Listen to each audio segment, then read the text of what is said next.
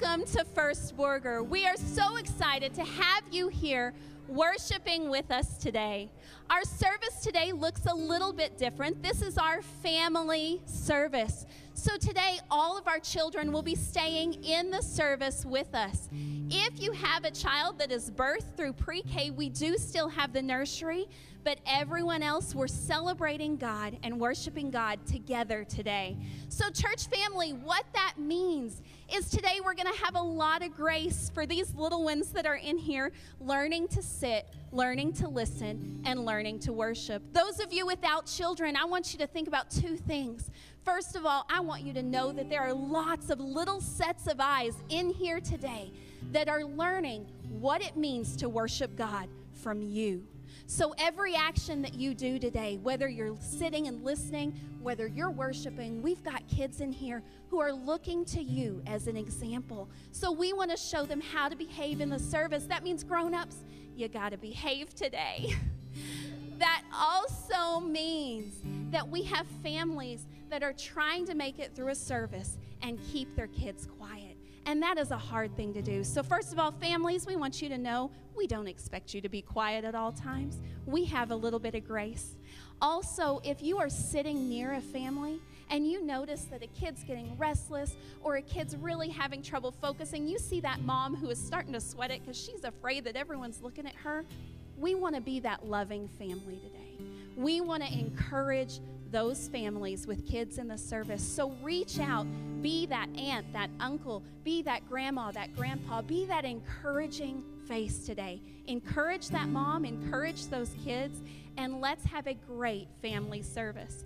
Well, what does a family service look like? A family service means that we are going to get to start out with not one, not two, but I think three baptisms today. Uh, we also have, I know, isn't that exciting? And whenever we have a baptism, if you're new with us, we believe in celebrating. The Bible tells us that when anyone comes to know Christ, that the angels in heaven celebrate. And so we feel like if the angels in heaven are celebrating, so can we. So we clap, we cheer, we wave our rah rah sticks, and we have a good time when we do baptisms. We also have some child dedications today, some families who are dedicating to raise their children up to love God. So we are so excited. We are going to be worshiping through song. We're going to be worshiping by listening to Pastor Charlie and by taking communion. If you have a child with you today who you think is going to struggle sitting still, we do have busy bags over here. If there's extras, adults, you're welcome to use those too. So that's what our service looks like. One other thing I ask is if you are new, if you are a guest with us today, there are some connect cards in the pews in front of you. If you will go ahead, grab one of those connect cards, fill it out let us know that you're here. If there's any way that we can pray for you as a church body, go ahead and fill one of those out. We want to know how we can come alongside you and pray for you. If you'll take those, put them in the offering boxes that are at the entrances to the worship center. If you plan on worshiping through giving of tithes or offering, you can also put your offering there or go online to firstborger.com backslash giving and give your tithes there. Now, you guys have heard a lot from me this morning, but I have one more thing to share. We have my favorite time of year coming up, which is VBS. So, we are needing lots of help with VBS still. I need people to hang signs. I need people to cook goodies for my volunteers so that they come back and volunteer next year because the food was so good. And I need people to bring food for snacks for the kids. If you are interested in helping out in one of those three ways, if you'll go to the Connect desk after church, I'll be over there and I'll help you sign up for those things. So, we are going to go ahead and get our service started. If you would, please bow your heads and pray with me. Father God, we come before you today, and we are so thrilled to be able to celebrate as a church family as we do baptisms and baby dedications and just spend time worshiping you. God, thank you for this opportunity that we have to come together and to praise you as the one and only God, the King of Kings and Lord of Lords. In your name we pray. Amen. If you would, please direct your attention to the baptistry.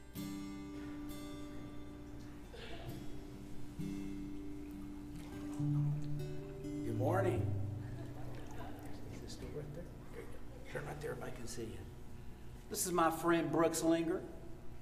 Brooks is seven years old. Can you say hi, Brooks? Hi. That works both ways, absolutely right. Brooks and I had a great conversation this week, and you know, even though Brooks is seven, he has a firm grasp of what salvation is, and he has a firm grasp of what baptism is and what it isn't. So, Brooks, do you believe that Jesus Christ is the Son of God? Yes. Do you believe that God raised him from the dead? Yes. And have you invited Jesus into your heart? Yes. Okay, then turn this way right here.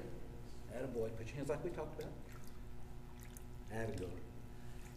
Upon your public profession of faith in Jesus Christ as your Lord and Savior, it's my privilege and pleasure to baptize you, my brother, in the name of the Father, Son, and the Holy Spirit. Buried with Christ in baptism, raised to walk in the newness of life. Look at all those things out there. Can you see them?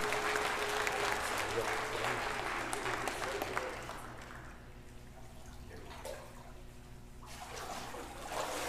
right, come on, Tim.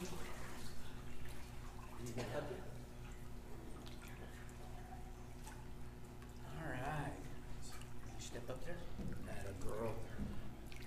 This is Tinley Davis. Tinley is eight years old. And we also had a fun conversation about Jesus, about inviting him in- into her heart, about salvation, about baptism. So, Tinley, you want to say hi to everybody? Hi. Y'all say hi to Tinley? That a girl. So, Tinley, do you believe that Jesus Christ is the Son of God and that God raised him from the dead? Yes. Amen. And have you invited Jesus into your heart? Yes. Okay, your hands like we talked about. So, Tinley, upon your public profession of faith in Jesus Christ as your Lord and Savior, it's my privilege and pleasure to baptize you, my daughter, in the name of the Father and the Son and the Holy Spirit. Buried with Christ in baptism, raised to walk in the midst of life.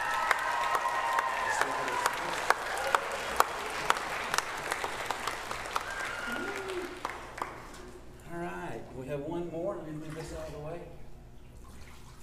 Okay, Mario. Oh boy, good job. So let's come right here in the center. I want to turn around there so everybody can get a good look at you and see how good looking you are. This is my friend Mario Davia. Mario is 13 years old, and we also had a conversation about Jesus Christ. And Mario understands what salvation is, he understands what baptism is. So, Mario, do you believe that Jesus Christ is the Son of God and that God raised him from the dead? Yes. And have you invited Christ into your life as your Lord and Savior? Yes. You turn this way right here. Put your hands like we talked about. And Mario, upon your public profession of faith in Jesus Christ as your Lord and Savior, it's my privilege and pleasure to baptize you, my brother, in the name of the Father and the Son and the Holy Spirit. Buried with Christ in baptism. Raised to the life.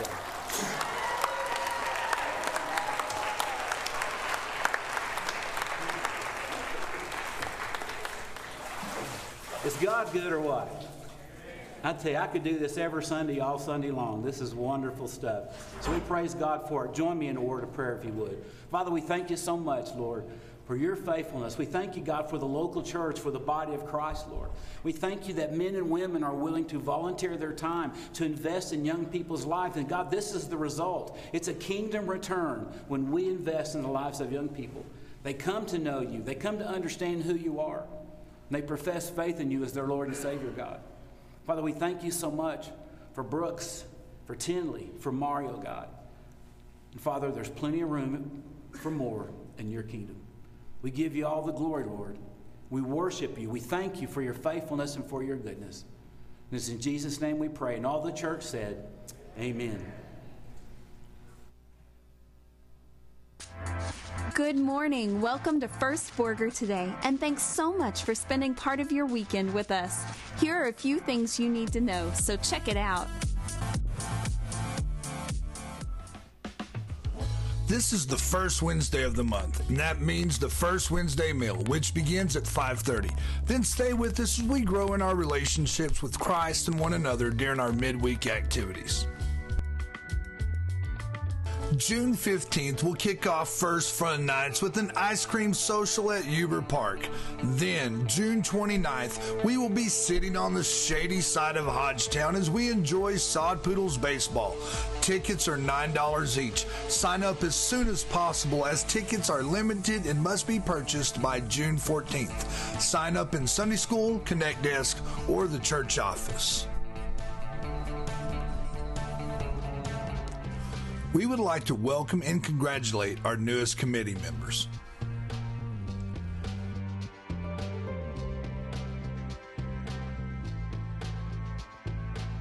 There are still positions to be filled in personnel, finance, and long range planning committees.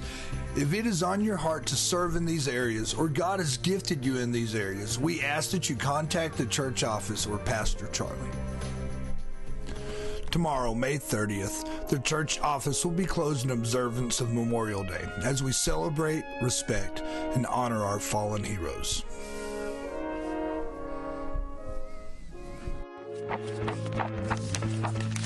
Tom and Eddie, the Skit Guys here, inviting you to be a part of VBS. That's right, Vicious Bible Stories. What? Yeah, VBS, Vicious Bible Stories. No, no, no, no, no, no, no, no. Oh, yeah, there's vicious stuff in there. Do you know what happened to John the Baptist? I do, but however, we're not talking about that. We're talking about VBS, Vacation Bible School. Oh, um, that's something completely different. Yes. Sorry. And what we want to encourage you to do is to make plans and to mark your calendar to be a part of VBS, Vacation Bible School. Hang on, hang on. You keep saying vacation and school at the same time. Those are not the same thing. Well, um, school can be a vacation. Do you listen to the words that come out of your mouth? No. But VBS is fun, like a vacation, and children go to VBS to learn and to get excited about God's Word, kind of like school, thus Vacation Bible School. Okay, well then, then call it like um, uh, call it uh, fun, inspirational, uh, neato kinda school. F I N K S. That's right. Finks. You want us to call it Finks. You want us just to obliterate uh, the acronym VBS and just start a whole new thing called Finks? Hey kids, this summer let's be a part of Finks. Who wants to be a part of Finks? What's Finks? Well, it's Finks. It's where we learn about the Bible. Finks. No, I think we'll just stick with Vacation Bible School. So make plans to be a part of Vacation Bible School and watch your kids have a great time as they learn about this amazing God and His fantastic Word. Yeah, I thinks everyone will love it. Okay, stop it. I don't think you're my boss. Cue the title card, please. What is that? Something finks. All right, it's enough. If you have not already registered for VBS or have signed up to volunteer, we think today would be a great day to sign up. You can register with this QR code or online at firstborger.com. To volunteer, sign up at the Connect desk, call Tia here at the church, or register online at firstborger.com. During VBS, even the snack time emphasizes and supports the message of Christ. We are in need of snacks specific to this year's theme. There is a sign up at the Connect desk and Sunday school for what we are needing. For more information about what's going on here at First Borger, check Facebook, firstborger.com, and grab a calendar at the entrances on your way out today. Thank you for joining us today. We're so glad you're here. Well, good morning. I'd like to invite you to stand with us. If you hadn't figured out, I think we like to have fun here at First Borger. What do you think? We love to celebrate what God is doing. We love to celebrate through baptism. Wasn't that so great? And if you've never seen this, this is something that's been started this year, and it's exciting to see kids getting celebrated or adults being celebrated with baptism that way. Isn't that awesome? So now we're just going to turn our hearts. We're going to worship Jesus and we're going to praise the Lord. And I want to encourage you to praise God this morning with all your heart, with all your soul, with all your mind, with all your strength. Because He is so worthy of it, isn't He?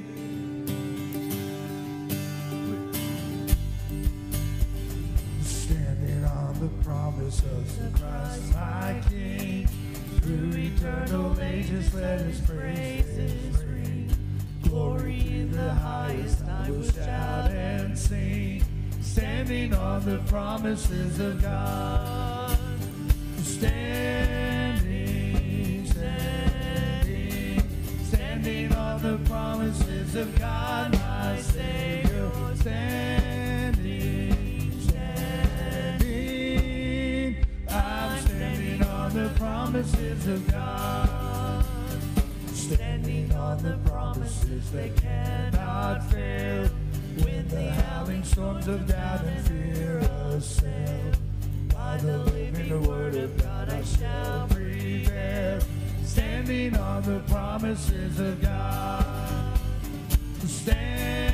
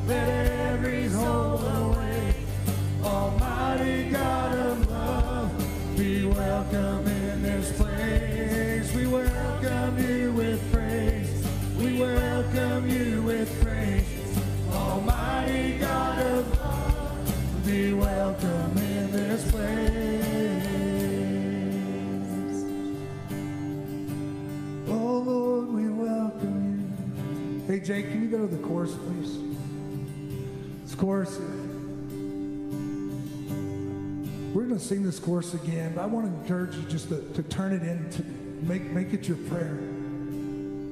We're just going to say to you, my heart is open. Nothing here is hidden.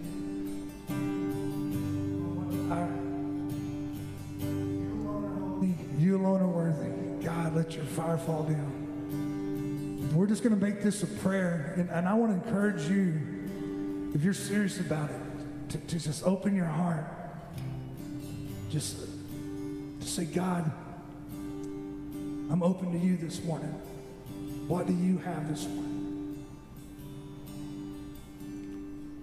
Oh, to you my heart is open, nothing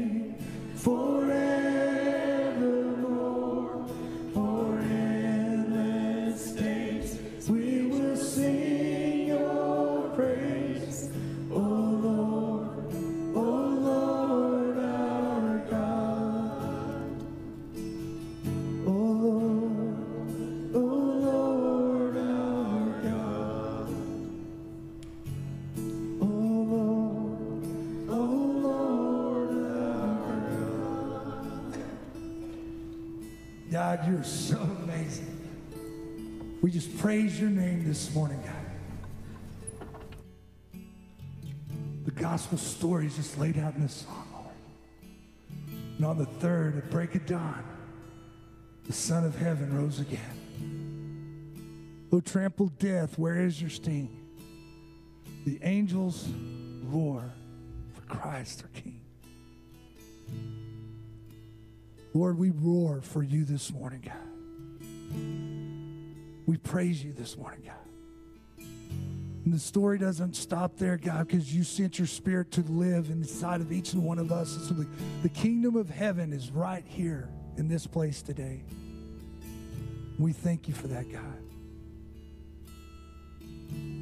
We love you, God. We ask that you just be with every part of this service today, God. And there's things that we've seen a million times, we've heard a million times. But Holy Spirit, you bring new things to everything. So, God, I ask that we just open our eyes this morning to what you have, that we be open to be transformed by the renewing of our minds today.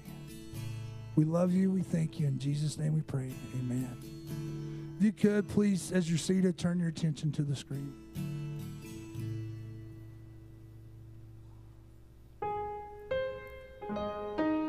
Dad, after all these years, I've never stopped writing. I still remember many of the letters I've written you, and the moments I wish you could have seen.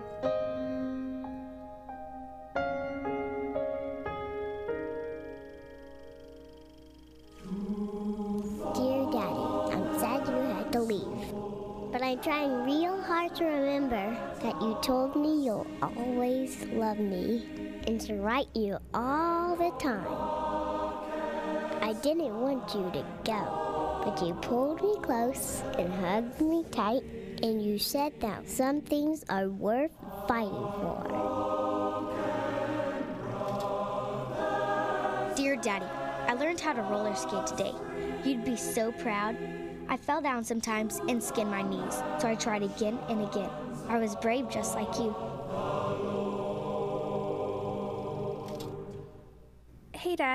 Sorry I haven't ridden in a while. I'm 14 today. Can you believe it? Don't worry though, no boyfriends.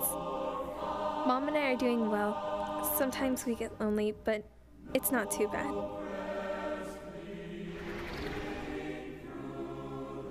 Dear Dad, high school graduation. I really wish you were here today. College is just around the corner. I'm staying close to home though. I figured you'd want me to help keep an eye on Mom. Dear Dad, today I married the man of my dreams. He reminds me of you. He's gentle yet strong. He loves serving me, and he can make me laugh all the time, just like you could. Granddaddy went ahead and walked me down the aisle, said that you'd be proud of me. It was a wonderful day seeing so many friends. We talked about you a lot and how we wished you were here. Oh, Daddy, I love coming to visit you. This time, I brought someone else. Your granddaughter. I tell her about you all the time. We talk about the letters I write you and that maybe she can write you too someday. Yesterday, she told me she'd love to meet you. So I pulled her close, hugged her tight, and told her about how some things in this world are worth fighting for, even dying for. Love always, your daughter.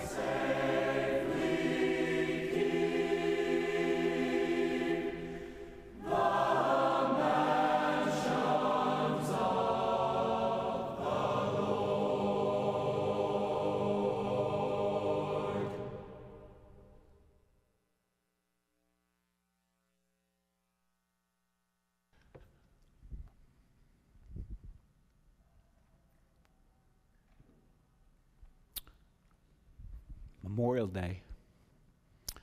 So much more than going to the lake, a party, or cookout in the backyard.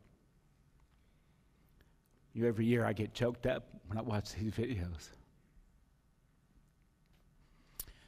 My dad was a World War II, Korea, Vietnam veteran in the United States Marine Corps.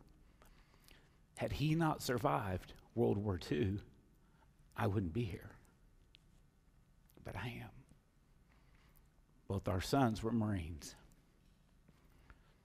Thank God. One was deployed, the other one didn't have to, but survived. It makes you count the cost and it makes you count the blessings that we all have. Some in this room don't have that testimony. Some in this, room, in this room lost loved ones. World War II, Korea, Vietnam, the many wars that our country has fought, men have died to preserve our freedom. So let's take just a minute, if we could. Put aside all the, the fun and the revelry of high school graduation that took place this past week, as great as that was. And let's just pause and reflect. Those that gave their life, that we might worship in freedom.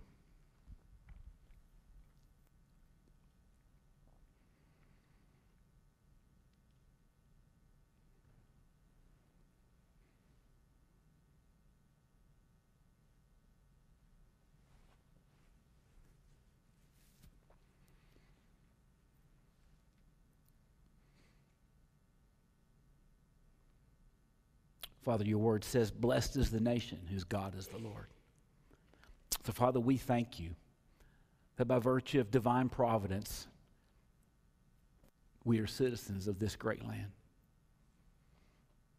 But we know that the land is stained by blood.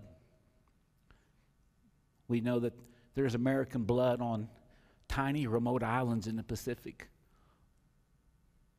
faraway lands in Southeast Asia, Korea, all across the battlefields of Europe, and places we don't know about. Father, we thank you that men and women are willing to devote their lives for their nation and for their fellow man. We thank you, Father, that you were willing to sacrifice your life for us. We love you, Lord Jesus, and we just give you all the glory and honor because you're worthy of it. We thank you for all those that laid down their life and paid the ultimate price for our freedom. In Jesus' name, amen.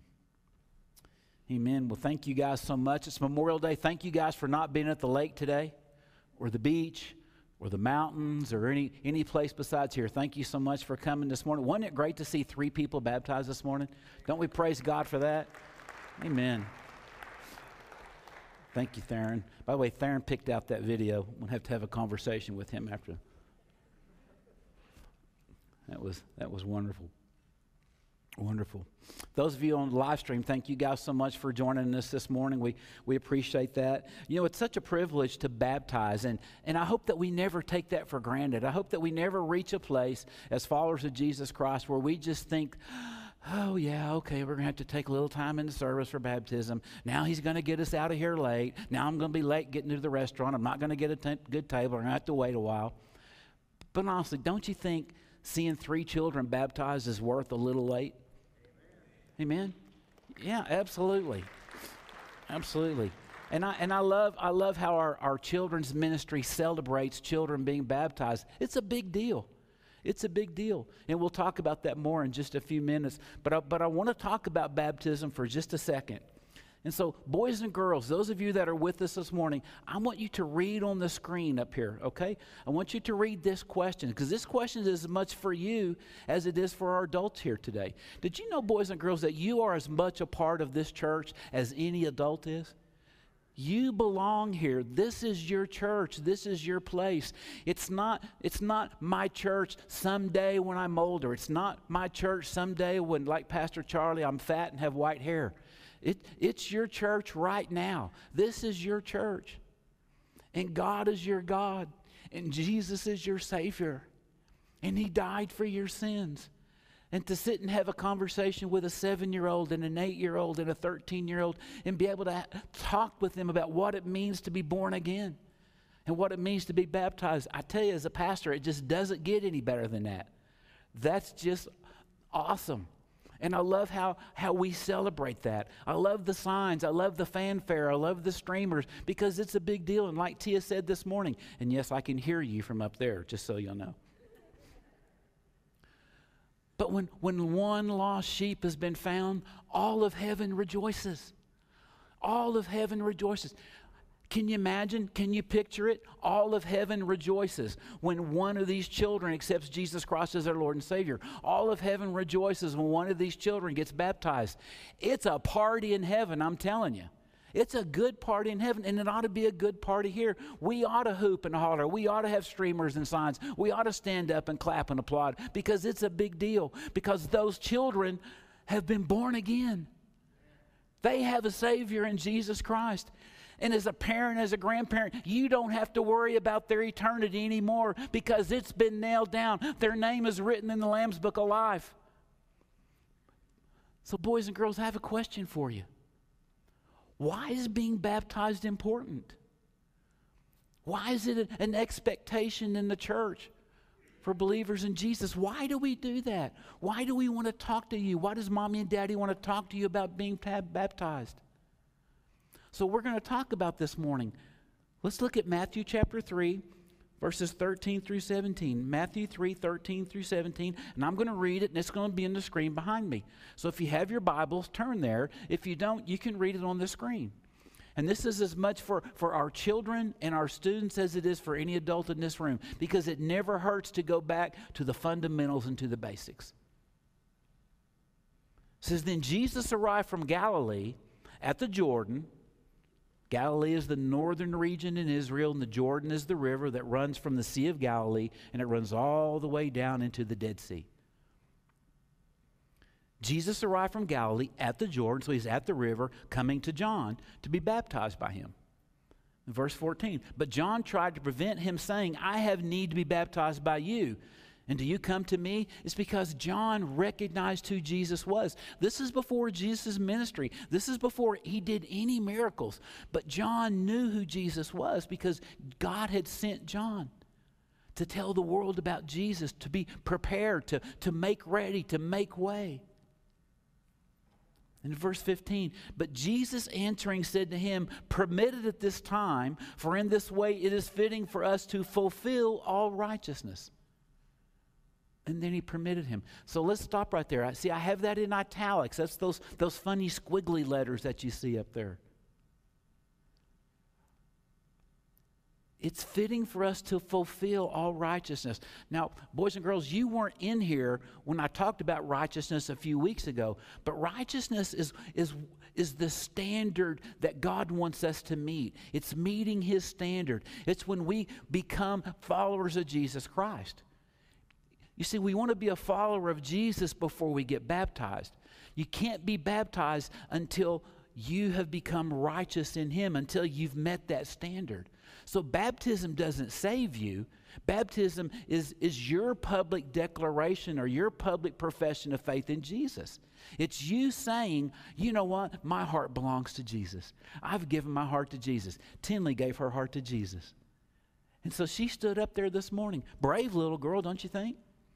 Along with the rest of them, Brooks and, and Mario, stood up there and said, You know what? I, my heart belongs to Jesus. It fulfills all righteousness. It means that we've met God's standard when we're born again because now he sees us and, and, he doesn't see he doesn't see all the bad things that pastor charlie did when he was little he doesn't see all the disobedient things pastor charlie sees he looks at pastor charlie and he sees the image of his son jesus in me Boys and girls, did you know that God sees the image of his son in you when you know Jesus as your Savior? Isn't that amazing? I don't know how that happens, but it does once you've invited Jesus Christ your, into your heart. And baptism is your public profession of faith. So it means that you've met God's standard, but that it means more than that. Look at verse 16. After being baptized, Jesus came up immediately from the water. He came up immediately from the water. Now, I know some of you wonder is Pastor Charlie going to hold me under the water a long time? And I'm not. I may hold Wally under the water a long time, but, but nobody else. He came up immediately out of the water. John baptized Jesus. He went under the water and he came back, back out of the water immediately. And behold, the heavens were opened, and he saw the Spirit of God descending as a dove and lighting on him. Jesus came up out of the water as John baptized him, and the heavens opened up. Can you imagine? I would have loved to have seen that. And the Spirit of God came down, and it's like a dove landed on his shoulder. Can you, can you kind of picture that? I can picture that. I think that's the coolest thing. And then verse 17, and behold, a voice out of the heavens said, This is my beloved Son, in whom I'm well pleased. Notice I wrote that in those funny squiggly letters again, those italics. Boys and girls, when Jesus was baptized, not only did he meet God's standard, but it also pleased God. Don't you, boys and girls, don't you like it when you do something that makes your mom and dad smile? Makes grandma and grandpa smile, puts a smile on their face? See, we all want to please our, our parents, right? And so when Jesus got baptized, it pleased God. And God loved him so much, he said, This is my beloved son, in whom I'm well pleased. When Tinley got baptized this morning, God said, This is my beloved daughter, in whom I'm well pleased. When Mario got baptized and Brooks got baptized this morning, God said, This is my beloved son in whom I'm well pleased. See, that's why we get baptized. So, why do we baptize? It meets God's standard and it pleases God. We don't get baptized because it's a Baptist church and that's what Baptists do. It is a Baptist church and it is what Baptists do, but we do it because it's what the Bible said. It's because Jesus gave us that example. So that's why we get baptized. And we do some other funny things as a church. Well, they're not really funny, but they're just different. We're some things that maybe some other churches don't do. And one of those is, is child dedications. Child dedications. And we're going to have a couple of those this morning. But before we do, I want to ask another question. Boys and girls, I want you to consider this question along with your moms and dads and other people that are here. Why does our church ask parents to dedicate their children? Why do we do that? Is it just so that you can come up here and I can, I can mess with you and, and make fun of you? No. We do it for a very important reason. And we're going to talk about that this morning. So I'm going to invite the Linger family to come up here. I'm going to invite the Richter family to come up here right now. This is Bo Wilson Linger. You can see Bo's picture there. He was born January 28th of this year. Yeah, you guys go ahead and come. Everybody come up. And this is August Augie, I asked for permission. This is Augie Owen Richter. October 29th, 2021. Yep, all, I'm sorry. All the family, near family, far family, wannabe family, used to be family. If you're family in any way, shape, or form, I want you guys to come up here. And here's what I want you to do I want you to come all the way up here. Okay? We're going we're to make you guys really pretty. Y'all just stand up right across here. Everybody, is this a good looking group or what? Don't we praise God for that? Absolutely right. So you can see Augie's picture there. Jake, can you go back just make make sure everybody gets a good look at Bo? Bo Wilson Linger. I love that. January 28th. And then Augie. Is it okay for me to call him Augie? Sweet. August Augie Owen Richter, October 29th. So it's precious. It's just precious that we have this time together. So, guys, we, we've done this several times, and so you know what I'm getting ready to do. I'm going to stand up here in front of these guys and, and ask them some questions and talk to them. And, boys and girls, some of you have been up here in the past when we've done this, and some of you that may be in your future. But, but we're going to answer the question well, why do we do that? And so as we go along through this, I want, I want you to participate in paying attention as to why we do this. And moms and dads and family that have gathered, they're going to do the same thing, okay? Okay, so y'all excuse me. Those of you on FaceTime, please excuse me. I'm going to come down here and I'm going to turn my back to them because really they're the focus of what we're doing right now, these children. So the question was why does our church ask parents to dedicate their children? In Mark chapter 10, verses 13 and 14, by the way, this is Brian and Sarah Richter, my bad. And this is Katie and Cameron Linger and the rest of the family. So, in case you didn't know who they were, now you do. In Mark chapter 10, verses 13 to 14, this is in the New American Standard. It says, And they were bringing children to him so that he might touch them. But the disciples rebuked them. But when Jesus saw this, he was indignant and he said to them, Permit the children to come to me. Do not hinder them. And notice I wrote that in those squiggly, funny letters again, boys and girls. Permit the children to come to me. Do not hinder them. Hi, Margot. The one thing I love about Margot, she says hi to me every week. That just blesses me. Permit the children to come to me and do not hinder them, for the kingdom of God belongs to such as these. The kingdom of God belongs to children. Did you know that? The kingdom of God belongs to children. That's a big deal. Now, in the message, Eugene Peterson writes it this way He says, But Jesus was irate, and he let them know it. He said, Don't push these children away. Don't ever get between them and me. That's a big deal. Don't ever get between them and me. Parents, grandparents, family members, don't ever get between God and these children and what He has planned for them. These children are at the very center of life in God's kingdom.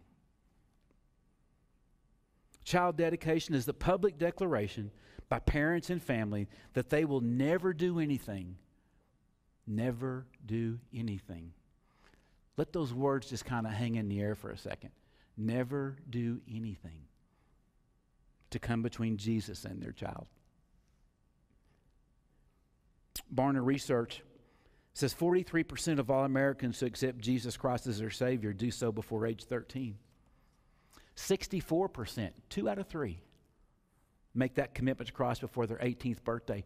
It's why it's such a big deal church, when our children accept Christ as their Lord and Savior and get baptized. Because the likelihood is if they don't do it while they're still living with you, they won't. It's also why it's incumbent upon you and incumbent upon you to make sure they know who Jesus Christ is.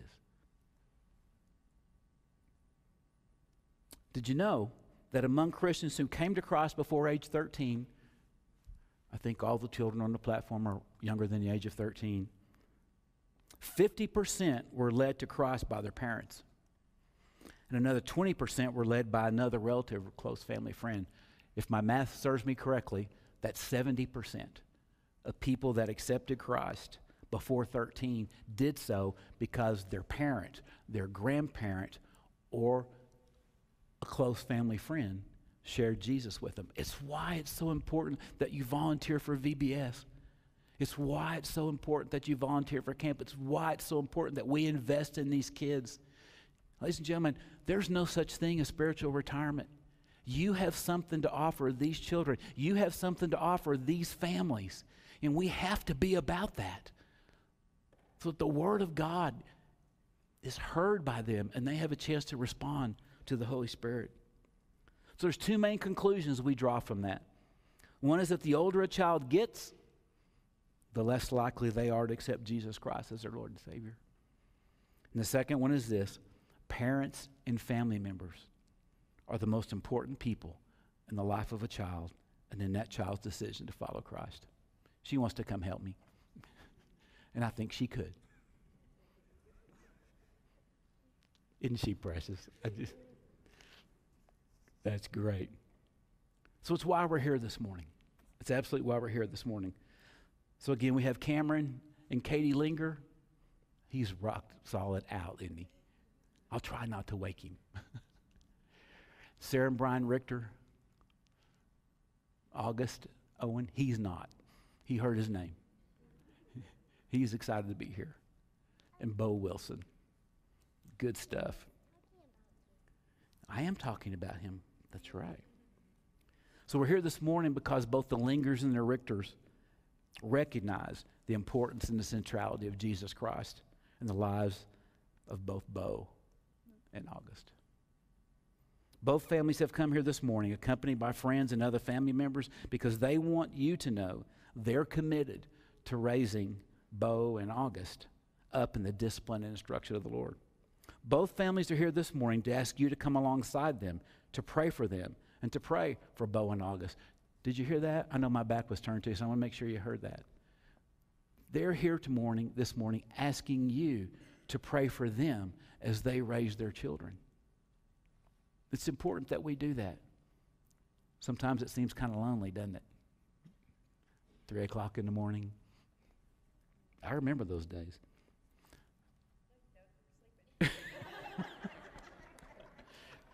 Okay. My wife just said, No, you don't. You were sleeping. Fair enough. Fair enough. They're here this morning to publicly, publicly dedicate both Bo and August to the Lord Jesus Christ. So, parents, I'm going to ask you a series of questions, and we're going to do it one at a time because I, w- I want you to actually respond, not in unison, but, but together, and then your families respond in kind. So, if it be your intention to present your child to the Lord and to pledge yourselves to bring Bo and August up in the discipline and instruction of the Lord, when the question comes, please answer, We do. So, you ready? Okay, we'll start with Bo. Psalm 127, verses 3 through 5 says, Don't you see that children are God's best gift? The fruit of the womb, his generous legacy. Like a warrior's fistful of arrows are the children of a vigorous youth. Oh, how blessed are your parents with your quivers full of them. Cameron and Katie and family, do you recognize Bo as a precious gift from God and give genuine thanks to God for this blessing? One more time. Let's try it again. Uh, all right. Well, I just want to make sure everybody knows. Okay. Brian and Sarah, do you recognize August as a precious gift from God and give genuine thanks to God for this blessing? We do. Okay. This is all very interactive. It's very important. So let's try one more time. Do you recognize August as a precious gift from God and give genuine thanks to God for this blessing?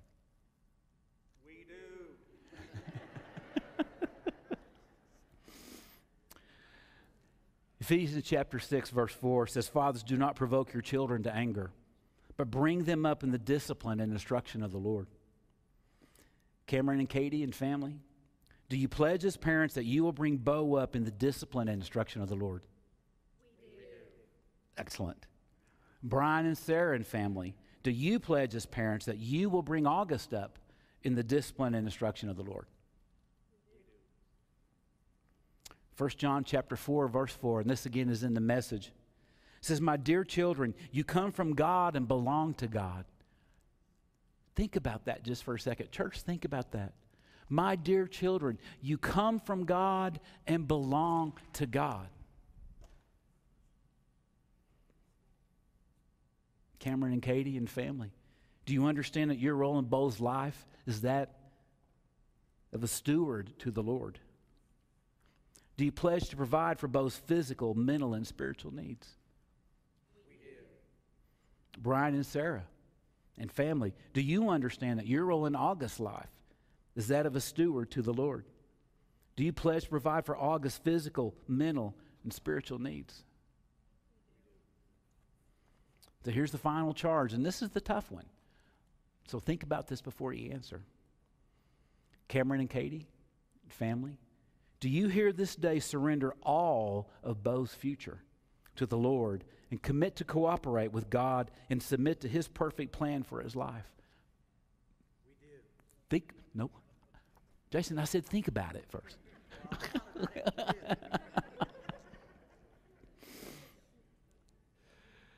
Do you hear this day surrender all Bo's future to the Lord and commit to cooperate with God and submit to his perfect plan for his life? You may have plans for him to be the president of the United States or an engineer or a doctor or whatever it is he had plans for. And he may come home one day and said, You know, I know we've talked my whole life about me doing this or that.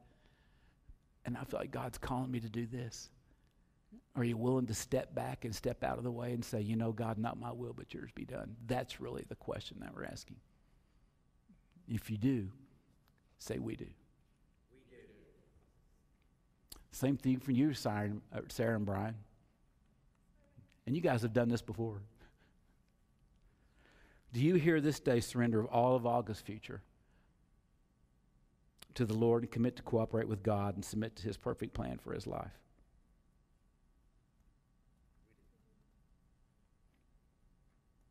So let's pray. Church, I'd ask you to pray as well. In fact, I would ask you to just stick your hands out, if you're comfortable with that, just stick your hands out towards this couple as we pray for them. Father, we thank you for these precious children, for Bo and for August, for Cameron and Katie, for Brian and Sarah, and for their, their families, Lord. We thank you for their willingness to, to commit to, to you, their child, on this, this day, Lord. We thank you for their willingness to stand before the church and say, hey, we, we want you to pray for us. We, we need your help. We need your encouragement. We need your prayers as we do the best we can to raise our boys up in the discipline and instruction of the Lord. Father, as a church, we take seriously this moment, this opportunity to join these two families in dedicating these precious boys to you. We give you all the glory, Lord. It's in Jesus' name we pray. Amen. Stay right there. Have a couple of things for you. Thank you. This is for Bo. And this is for August. He is so good. They're both good. Of course, he's asleep. So my mom used to say, Yeah, Charles is a pretty good boy, especially when he's asleep. Inside those envelopes is a letter from me to them, and it's dated today. But on the outside of that envelope, it says, Do not open this envelope until the day of your salvation. So the day that these boys accept Jesus Christ as Lord and Savior, they're going to receive a letter from me. And it talks to them about what it is to be a follower of Jesus Christ. And that their parents dedicated them years ago, and now they've seen that come to fruition. Amen? Amen. Let's give these folks a hand, shall we? Thank you guys so much. You're welcome to come on down. Mm-hmm. Thank you for helping me, Margot.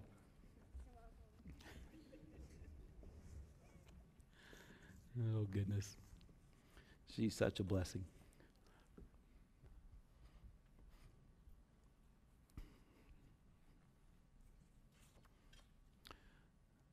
So, why do we dedicate children?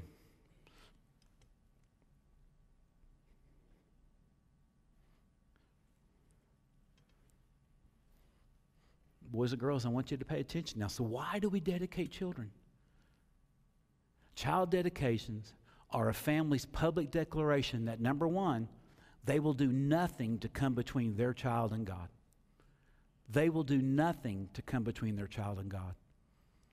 Number two, they recognize their child as a gift from God. A gift from God. Boys and girls, did you know that you're a gift from God to your parents? You're a gift to God, to your grandparents. It's a big deal that you were born because God gave your parents and your grandparents a wonderful gift you. Child dedications are a family's public declaration that they will raise their child to know God and walk in obedience to God. It's a big deal. Take seriously their role as parents. And this maybe is the most important one. They understand their responsibility to God as stewards of His child. You see, boys and girls, God gave you as a gift to your parents. And He told your parents, I'm going to give you this child for a while. But the child came from me, and one day, if you do your job well, your child's going to return to me. See, your parents have a very important job. They are stewards of your life. Stewards on behalf of God. It's a big deal. It's a big deal. And on celebration Sundays, we also celebrate the Lord's Supper. You may have grown up in a faith tradition where it was referred to as communion, the Eucharist, but the question is, why do we observe the Lord's Supper? Why do we do that? And so we're going to look at that this morning. I'm going to read from Matthew chapter 26, and then after I'm done with that, I'm going to ask the deacons to come forward and we're going to, we're going to serve you the Lord's Supper. But since we're in the book of Matthew right now, I want to share with you the Lord's Supper from Matthew's perspective that he's recording in his gospel. Matthew chapter 26, verse 26 through 29 says, While they were eating, Jesus took some bread, and after a blessing, he broke it. And he gave it to his disciples, and he said, Take, eat, this is my body. And when he had taken a cup and given thanks, he gave it to them, saying, Drink from it, all of you, for this is my blood of the covenant, which is poured out for many for forgiveness of sins. And then he said, But I say to you, I will not drink of this fruit of the vine from now on until that day when I drink it new with you in my Father's kingdom.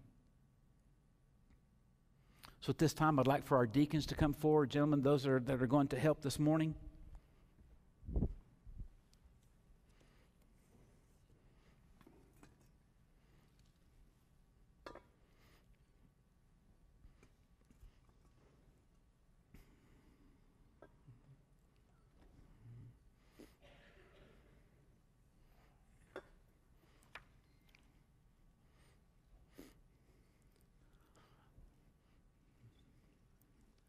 Let Spanky come and serve you guys. While he's doing that, I'm going to direct your attention to 1 Corinthians chapter 11. This is Paul's account of the Last Supper, the observance of the Last Supper that Jesus gave him. So, beginning in 1 Corinthians 11, verses 23 through 28, Paul writes, For I received from the Lord that which I also delivered to you, that the Lord Jesus, in the night in which he was betrayed, took bread. And when he had given thanks, he broke it. He said, This is my body, which is for you. Do this in remembrance of me. Notice, boys and girls, those squiggly lines. Do this in remembrance of me. And in the same way, he took the cup also after supper, saying, This cup is the new covenant in my blood. Do this as often as you drink it. Again, in remembrance of me. For as often as you eat this bread and drink the cup, you proclaim the Lord's death until he comes. Therefore, whoever eats the bread or drinks the cup of the Lord in an unworthy manner shall be guilty of the body and the blood of the Lord. But a man must examine himself, and in so doing, he is to eat of the bread and drink of the cup. And the deacons are going to come and they're going to serve you. So, gentlemen, you guys go ahead. So, some of the questions that come up are well, who can participate? Anyone who has trusted Jesus Christ as their Savior, regardless of church membership. You do not have to be a member of First Baptist Church to participate in the Lord's Supper. You do have to be a member of the kingdom of God. You do have to be born again and saved to participate in the Lord's Supper.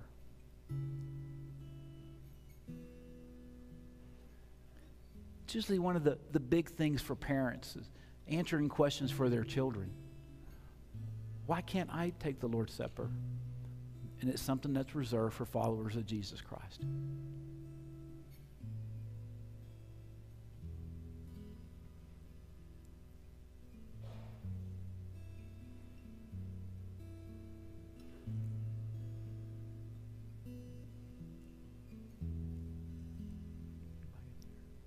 So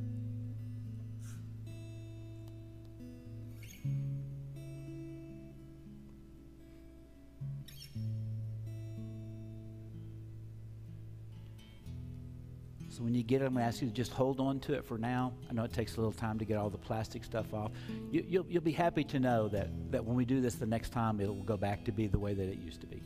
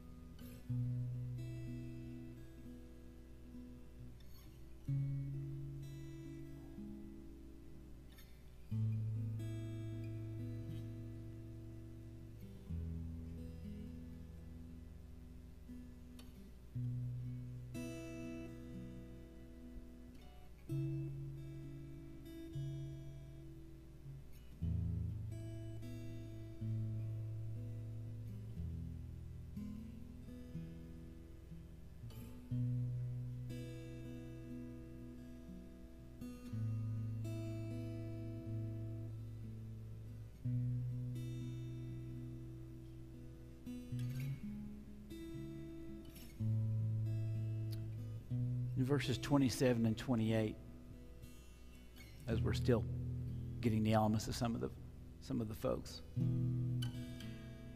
Paul writes, Therefore, whoever eats the bread or drinks the cup of the Lord in an unworthy manner shall be guilty of the body and the blood of the Lamb. But a man must examine himself, and in so doing, he is to eat of the bread and drink of the cup. So I would just ask you to take just a minute, ponder the bread and the cup, ponder your relationship with Jesus Christ. Is there anything in your life that you need to get right with God before you partake in the Lord's Supper? Any business you need to do with the Lord? Anything the Holy Spirit's directing you to do? Let's just take a minute and allow you an opportunity to do just that.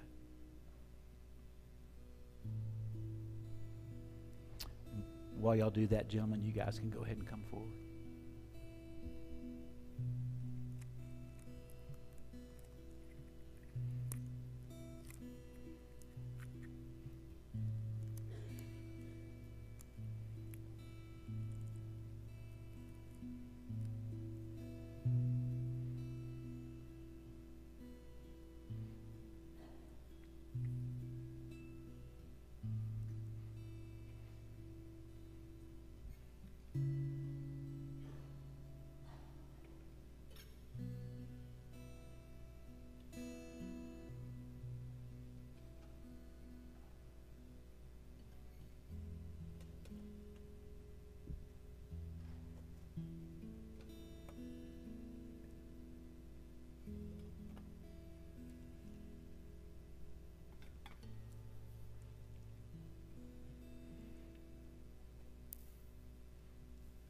Go join your families.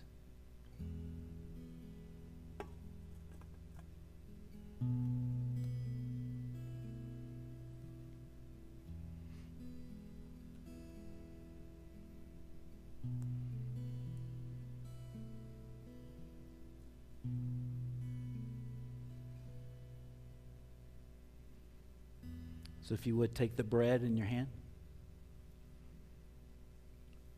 Writes, For I received from the Lord that which I also delivered to you, that the Lord Jesus, in the night of which he was betrayed, took bread.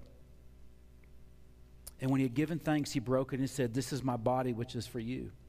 Do this in remembrance of me.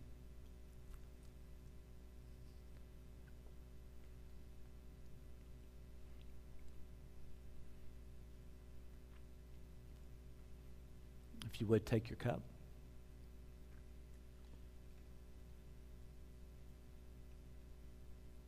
Paul writes, In the same way, he took the cup also after supper, saying, This cup is the new covenant in my blood. Do this as often as you drink it in remembrance of me.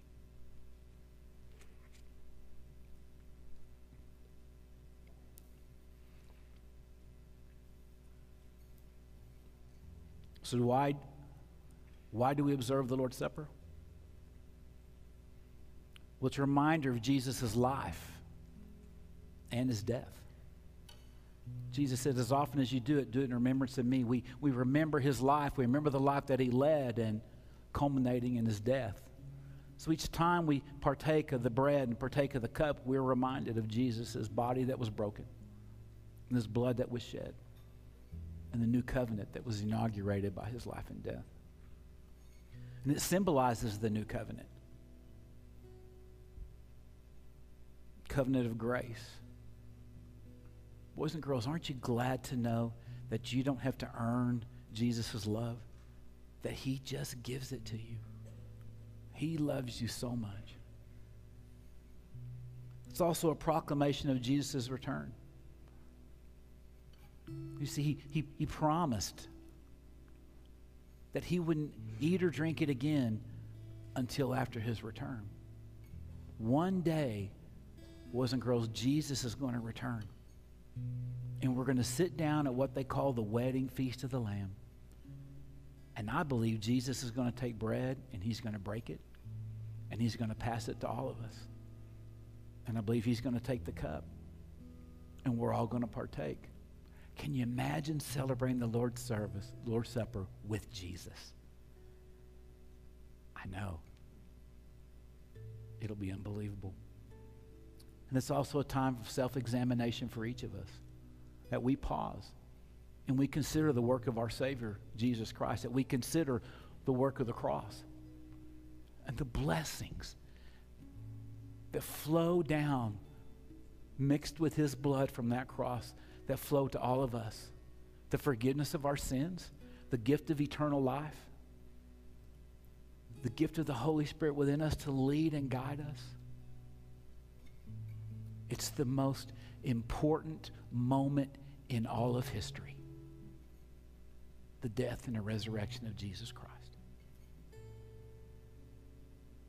Would you pray with me, please? Father, we thank you so much, Lord, for the opportunity to gather in obedience to your word, to do this in remembrance of you. Father, we remember your body that was broken. We remember the events of the cross. We, we remember your blood that was shed. And Father, we say thank you so much that you were willing to knowingly and willingly and obediently go to the cross to suffer the indignity of crucifixion, that you were willing to humble yourself and die for all of our sins. God, we thank you so much. And we love you so much. And we look forward to the day that you return.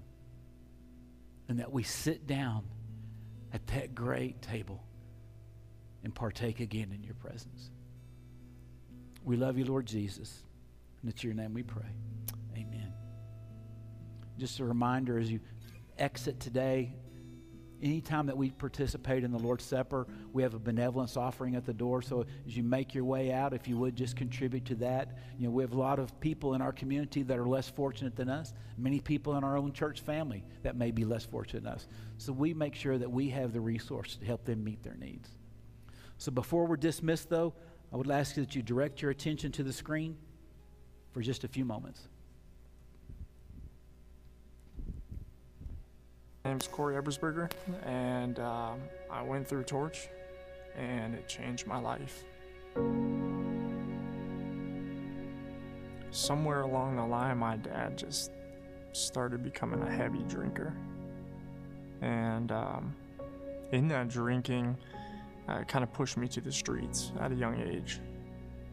So it wasn't long after living up in Ohio, I started getting into trouble um, which led me to ODYS, uh, the Ohio Department for Youth Services.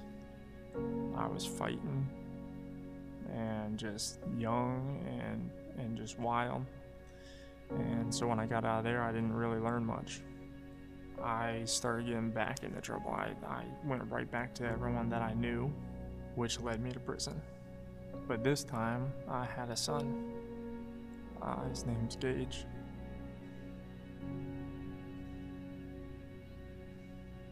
What was ironic about that is, whew, I was still a little kid myself.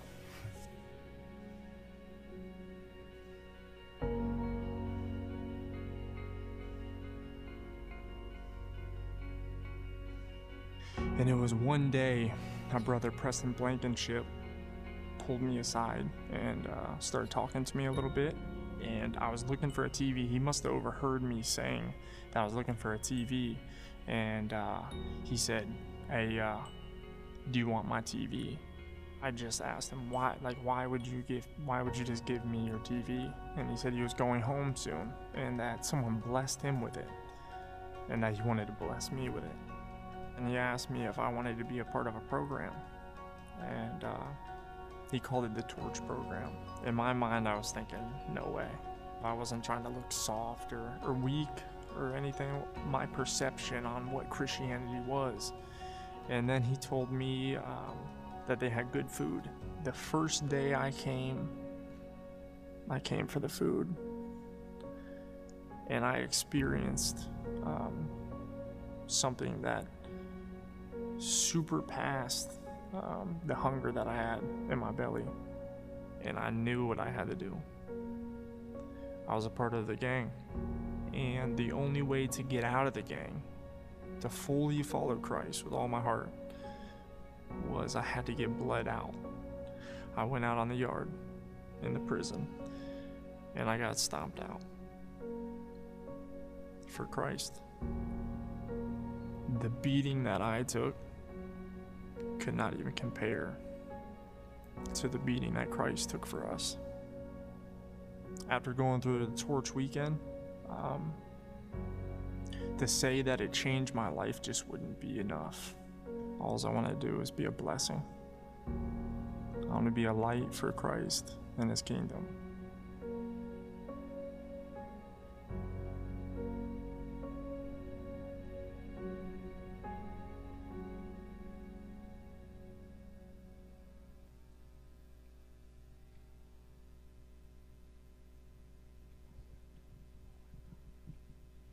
Next weekend at uh, the High Plains Juvenile Detention Center. 27 kids, ages range 13 to 18, male and female. All of them have been pretty much abused and neglected. They're going to have a Kairos weekend, a torch weekend, where a team of us will go inside and spend the whole weekend with them, and they'll be hearing about Jesus for the first time. Um, we'd like to give you the opportunity to participate in this ministry by signing up for the prayer chain, which is going to be a actual physical chain made of strips of paper that you're going to sign, and it's going to stretch its way around the gym. And if you need an excuse to go down to Amarillo next Sunday afternoon to see how these kids have been changed by the weekend, it's called the closing. If you want to do that, I got a card that will give you instructions on how to uh, get signed up for it. All you need to do is your driver's license and show up around 2 on Sunday. I'll give you the directions if you send me your email. Anyway, thank you for your participation. Jane's going to be at the back exit with two of these clipboards. I'll be up here at front. It's a quick signature and just saying, yeah, I'm going to pray for these guys Friday, Saturday, Sunday. Thank you.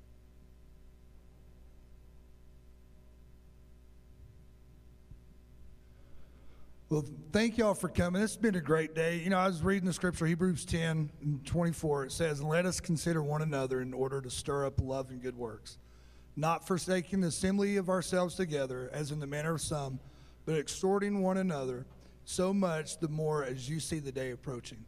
Today, I think we've done just that. We've gathered together in this room. We've uh, encouraged one another. We, we've watched people get baptized. We've we're, we're part of baby dedications, committing to pray for these families. We participate in the Lord's Supper. And then we get to participate in prayer for a group of kids that are going through uh, the roughest time in their life right now. And we get to help lift up, encourage, and hopefully see testimonies like we just saw there.